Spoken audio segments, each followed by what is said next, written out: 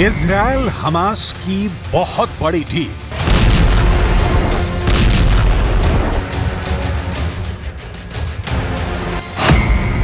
बंधकों की रिहाई का खुला रास्ता।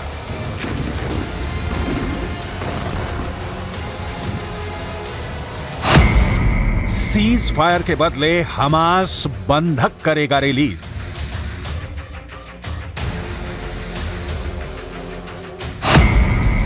डील पर लगेगी नेतन्याहू की मोहर।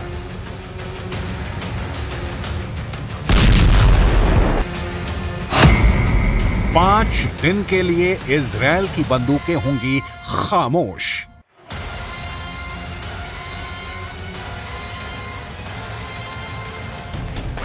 सीज फायर और बंधकों की रिहाई की डील के शोर शराबे के बीच ये बात नोट करने वाली है कि इसराइल अमेरिका की लीक पकड़कर नहीं चल रहा।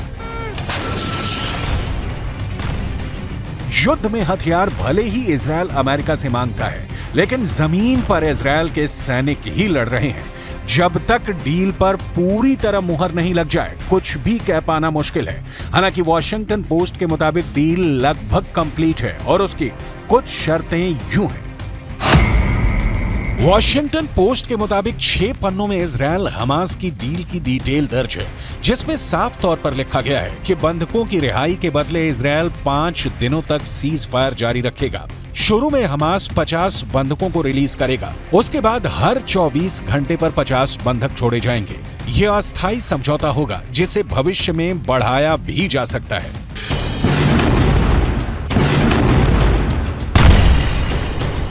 हमास इस हिसाब से कितने बंधकों को कब तक रिलीज़ करेगा, इसकी कोई डिटेल नहीं है। रिपोर्ट में यह बात भी सामने नहीं आ रही है कि इस डील के लिए कोई तारीख निर्धारित की गई है तो वो कौन सी तारीख है? वॉशिंगटन पोस्ट ही नहीं, पश्चिम मीडिया के कई माध्यमों में इस डील की ज़ोर शोर से चर्चा है। और इसके साथ ही ये भी छपा है कि जो बाइडन ने आखिरकार इसराइल में बंधक बनाए 240 बंधकों की रिहाई का रास्ता खोल दिया। वॉशिंगटन पोस्ट ने हमास इसराइल डील की लोकेशन भी बताई। अमेरिका इसराइल हमास के बीच कतर की मध्यस्थता में दोहा में डील फाइनल हुई है। ये डील अपने मुकाम तक पहुंचेगी, ये बता पाना मुश्किल है। इसकी तस्दीक इसराइल के गाजा पर तेज होते हमले कर रहे हैं। बंधकों के परिवार के लोग, स्थानीय लोगों के साथ मिलकर नेतन्याहू सरकार के खिलाफ विरोध प्रदर्शन कर रहे हैं। नेतन्याहू के ऑफ़िस के बाहर बीस हज़ार से ज़्यादा लोगों ने प्रदर्शन किया और जल्द से जल्द बंधकों को वापस लाने की मांग की। जबकि इसराइली प्रधानमंत्री बेनेमिन नेतन्याहू ने बंधकों को रिहा करने के बदले युद्ध विराम के किसी भी समझौते से साफ़ इनकार कर दिया है। नेतन्याहू ने कहा अभी किसी भी समझौते पर कोई सहमति नहीं हुई है और इस संबंध में बहुत सारी गलत रिपोर्ट्स प्रकाशित की जा रही हैं। हम गाजा पट्टी से सभी बंधकों को सुरक्षित घर वापस लाना चाहते हैं और हम यथासंभव उन्हें वापस लाने की पूरी कोशिश कर रहे हैं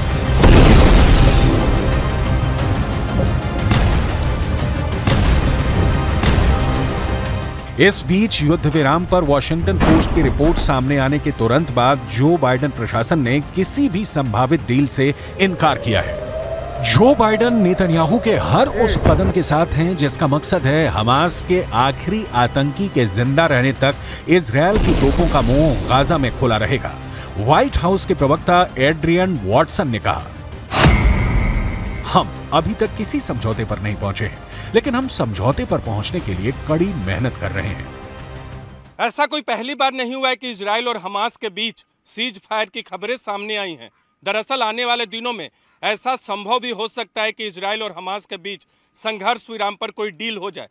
हालाँकि नेतन्याहू ने भी यहाँ तक कहा है कि आने वाले दिनों में बंधकों की रिहाई को लेकर कुछ हो सकता है, लेकिन हमास चाहता है कि तमाम फिलिस्तीन कैदियों को इसराइल रिहा करे, जिसके लिए नेतन्याहू तैयार नहीं। ईरान के विदेश मंत्री के नेतृत्व में हमास के लीडर पुतिन से मिलने मॉस्को पहुँचे थे। वहाँ से भी हमास ने ईरान के ज़रिए कहलवाया कि वो डील के लिए तैयार है, लेकिन शर्त है कि इजरायली जेलों में बंद फिलिस्तीनियों को रिहा किया जाए। इसराइल ने इसका जवाब गाजा में गोली चलाकर दिया।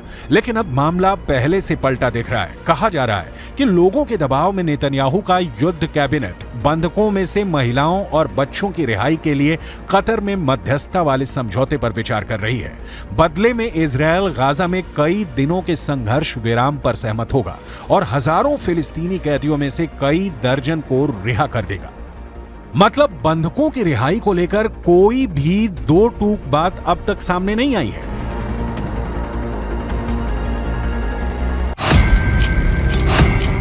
हमास इसराइल में डील हुई। हमास इसराइल के बीच डील नहीं हुई। हमास बंधकों को रिहा करने के लिए तैयार है। इसराइल सीज फायर के लिए तैयार है। इसराइल फिलिस्तीनी कैदियों को रिहा करेगा।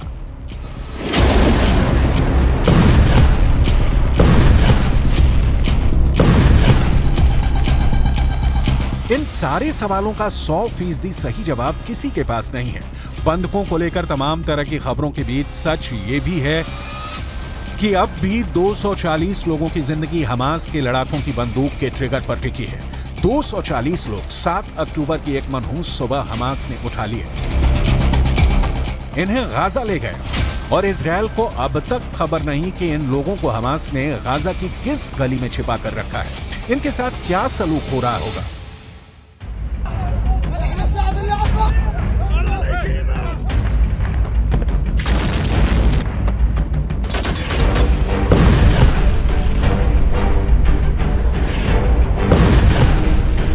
तेईस साल की शानी लूक के मृत शरीर को तो गाजा की सड़कों पर हमास ने निर्वस्त्र घुमाया था।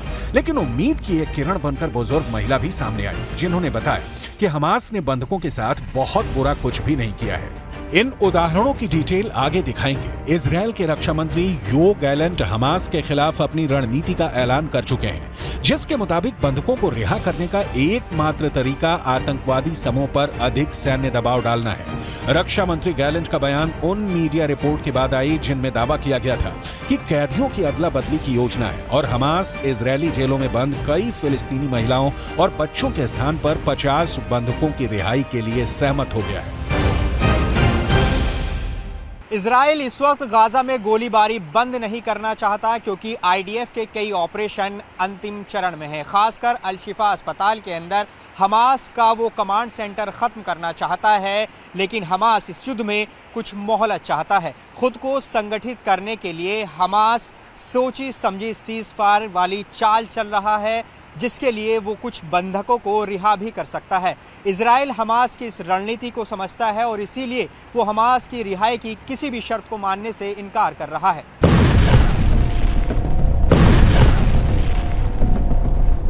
जमीनी हकीकत यह है कि दुनिया भर में अपने खुफिया ऑपरेशन को अंजाम देने के लिए जानी जाने वाली मोसाद अब तक बंधकों को छुड़ाने के लिए किसी सफल ऑपरेशन को अंजाम नहीं दे सकी है।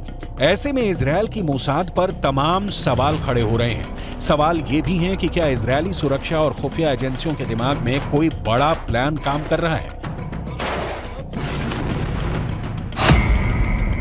युद्ध शुरू होने के बाद से हमास ने चार नागरिक बंधकों को रिहा कर दिया है, जबकि एक महिला सैनिक को इजरायली बलों ने बचाया है। कुछ मीडिया रिपोर्टों में दावा किया गया है कि बंधकों में से लगभग तीस बच्चे हैं। सबकी रिहाई सुरक्षित कराना। इसराइल की बड़ी ज़िम्मेदारी है, क्योंकि अब तक मानवीय आधार पर सीज फायर करने की इसराइल से डील करने की कोशिश कर रहे हमास ने बंधकों की रिहाई की कई देशों की अपील ठुकरा दी है। जिन 240 लोगों को 7 अक्टूबर की सुबह इसराइल से हमास ने अगवा किया, उनमें कई विदेशी नागरिक भी हैं, जिनका इसराइल हमास की लड़ाई से कोई लेना देना नहीं। है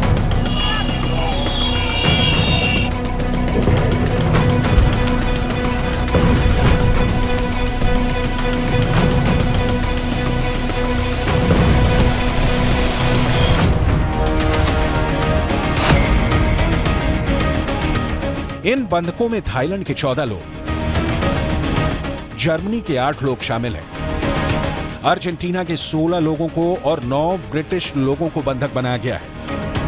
हमास जानबूझकर लोगों को गाजा उठा ले गया। इसी हालात में फ़ायदा उठाने के लिए जब युद्ध उसकी गर्दन पर उतरने लगे तो बंधकों की रिहाई के बदले इसराइल से अपने शर्तों पर डील कर सके। लेकिन इसराइल है, झुकेगा नहीं। उदाहरण देखिए और बिल्कुल क्लियर हो जाइए। 27 जून 1976 इसराइल की राजधानी तेल अवीब से एक विमान ने ग्रीस की राजधानी एथेंस के लिए उड़ान भरी। फ़्लाइट में 246 यात्री और क्रू मेंबर्स मौजूद थे।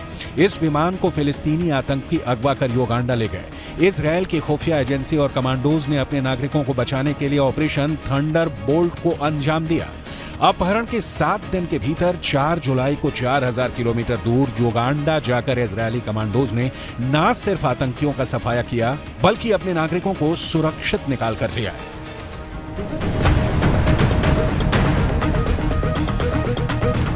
इस ऑपरेशन में इसराइल के प्रधानमंत्री बेनेमिन नेतन्याहू भी शामिल थे। इस ऑपरेशन में उनके भाई योनाथन नेतन्याहू की जान चली गई थी। करीब सैतालीस साल बाद इसराइल फिर से अपने बंधक संकट का सामना कर रहा है। तारीख पर तारीख निकलती जा रही है, लेकिन 240 लोगों की जान तमाम कोशिशों के बावजूद अब तक अटकी है।